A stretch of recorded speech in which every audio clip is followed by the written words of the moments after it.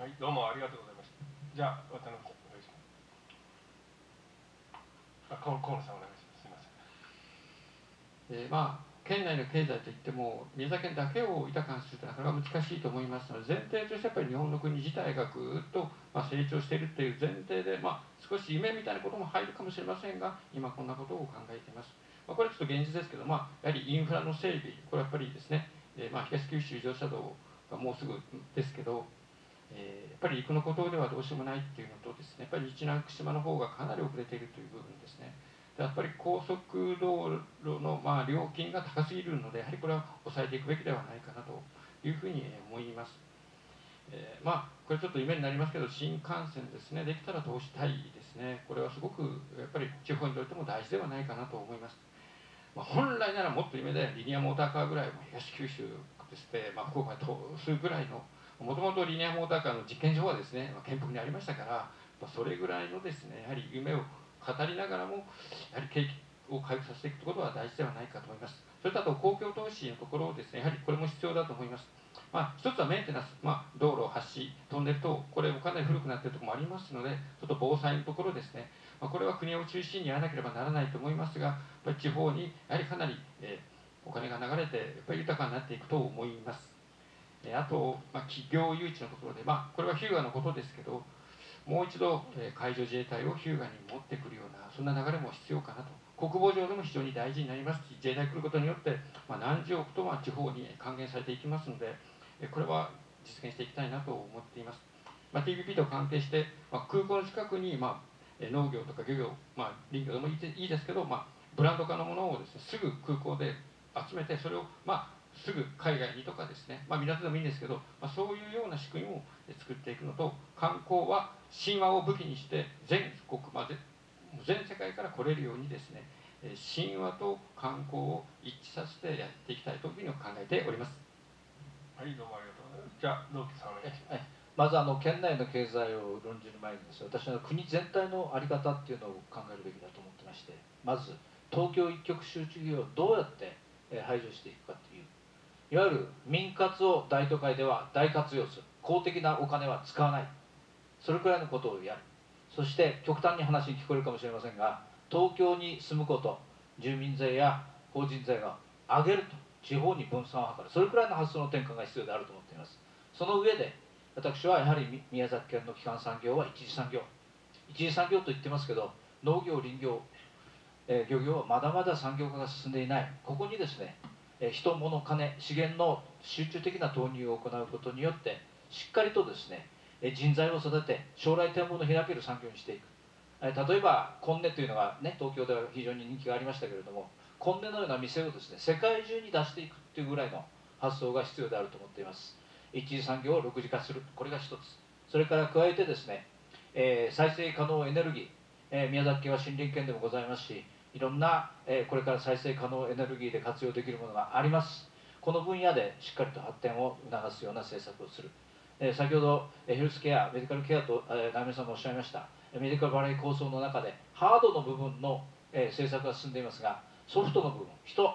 あるいは法律法改,、え法改正こういうものが全然進んでいません。日本のヘルスケアあるいは介護医療の受け皿としてですね国が苦しんでいます。受け皿として宮崎がかつ、えー、受け皿になれるような制度人物こういうものをですねしっかり、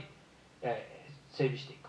宮崎医大看護大そして救護大があります。ここの人材もしっかり活用していくことが可能であると私は確信しています。はいどうもありがとうございました、えー、それでは長峰さんから質問をお三方にお願いします、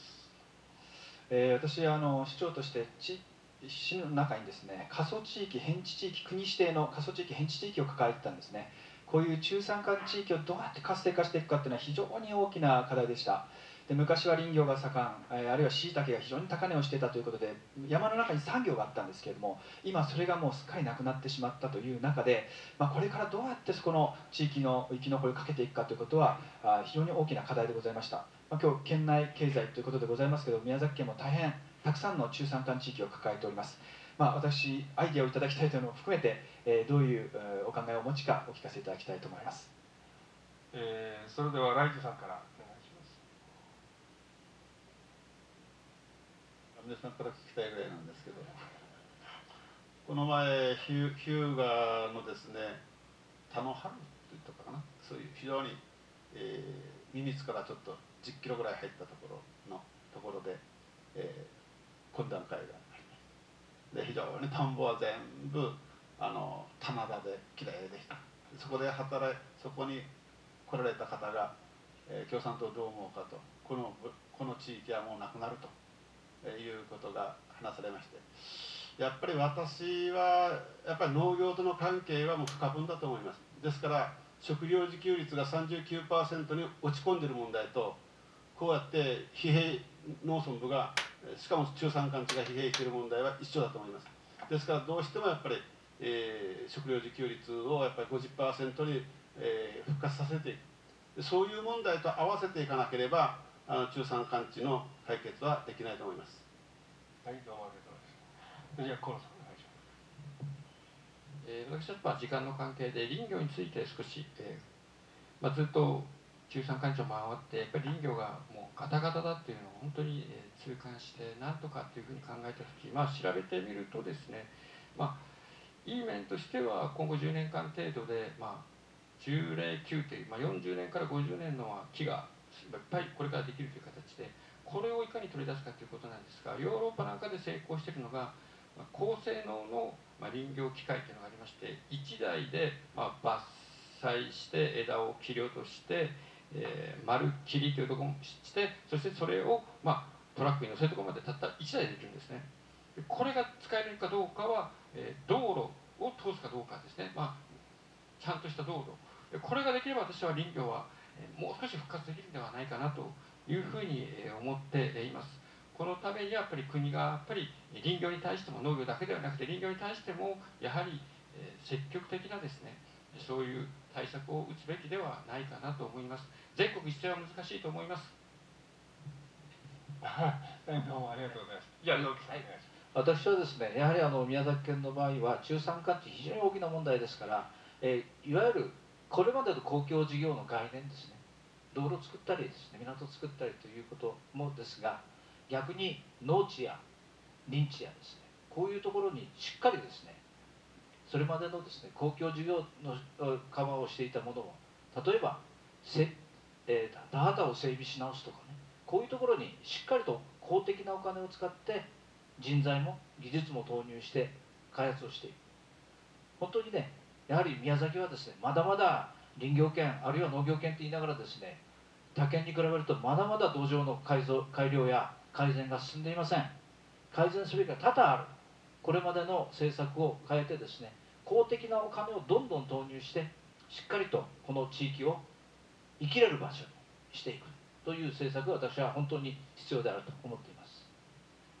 はいどうもありがとうございました。えー、今とてもやはり身近な問題ですから、えー、分かりやすいと言いますかあのうんうんという話がありました、えー、例えばヘルスケアビジネスの導入まあこれは保険制度の改革等々が伴いますけども、まあ、ぜひやってみたいという話もありました。あるいは都税といいますか大都市税の増税で地方をに還元する。これ確かに税制のいろんな問題がありまして、えー、地方で公共団体で、えー、整備大規模工事やるとゼネコンが全部吸い上げて持ってってしまう。で税は大都市で納めると。こういう構造的な問題もありまして、えー、いろんなその辺も解決しながらどういうように宮崎の地を振興していくかという問題でありました、えー、いよいよ大詰めです、えー、これまでさまざまな、まあ、国際問題から身近な問題までテーマを設定して4人の方に議論をしていただきました、えー、ここでいよいよ大詰めでありまして、えそれぞれの皆さんからあ時間を3分差し上げますので締めの意見を陳述していただきたいと思います、えー、長峰さんからよろしくお願いします。えー私はあの市長時代にですねえー公定期の対策をやりました、えー実は都城は牛豚鶏の生産額がいずれも日本一という第一畜産地帯でございます。で私は公定期対策に臨むにあたって一番最初にしたことは辞表を書きました。そしてその辞表を胸に入れてこの対策をしくじったらえ私は一生懸命頑張りましたと。言い訳はいくらでもできますが結果として誰かが責任を取らなければいけない。その責任を取るのは私しかいないという決意で腹をくくって対策に取り組みました、まあ、結果として1件発生しましたがその1件でとどめることができまして、まあなんとか乗り切ることができたところでございます。しかしやはり政治というのはそれだけの真剣味とそして自分の命を懸けてやるんだという覚悟で臨むべきものだと思っております。安倍政権ができて3ヶ月ぐらい経った時にある政治評論家が政治家の顔から笑顔がなくなったというふうに表現しておりました。あれだけ自民党が大勝したのに全く油断もおごりもない。みんな必死の形相で取り組んでいる。それは自民党のためではない。今この国が本当に危機にあってここで俺たちが頑張らなければ本当に大変なことになってしまうという強い強い危機感のもと強い強い真剣味のもとにですね今政治に取り組んでいる。私はそういうふうに思っております。そういう中でアベノミクスいろいろとご批判もあると思います。100点満点はございません。しかしこれが日本に残された私たちに残された最後の手段ではないのかなというふうに思っております。景気は気でございます。やはり国民の皆さんの後押しなくしてこの政策も実現はしていきません。どうかみんなでですねこの危機を乗り越えていく。そして政治を信頼していただきたい、まあ、そういう戦いとして私は今回進めてまいりたいというふうに思っております。え誇れる日本を取り戻し国民の政治に対する信頼を取り戻すために精一杯努力をしていきたいと思います。よろしくお願いいたします。どうもありがとうございました。それじゃあ来週さんお願いします。あの今日の議論を通じて非常にあの明らかになってきたというふうにまあ思います。でただあの細かいところまで明確にならない。例えば消費税増税についてどういう態度を取るかとで私は反対だってこう言いましたけど、えーしかし、えーあのその点などが明らかになってない、まあ、自民党と民主党さんはもうこれを上げあの進めた方ですからどちらかといえばですね。でいずれにしてもそういうその消費税の増税の問題にしてもそれから TPP でもね非常にあのあの立場がはっきり分かれて非常にあの分かりやすくなったというふうにあの思います。で原発再稼働については今日ちょっと議論ですねする時間があのありませんでした、えーこの問題についてもあの自民党はもう公約の中で再稼働させると。そして輸出までするということになっておりまして。この問題などももっと明らかにしていきたい。つまり私が申し上げたいのは TPP についても原発再稼働についてもそれから消費税の増税これなども全部やはりいわゆる大企業優先の政治そしてアメリカ言いなりになっていると思います。TPP は我々国民が要求したものではありません。全部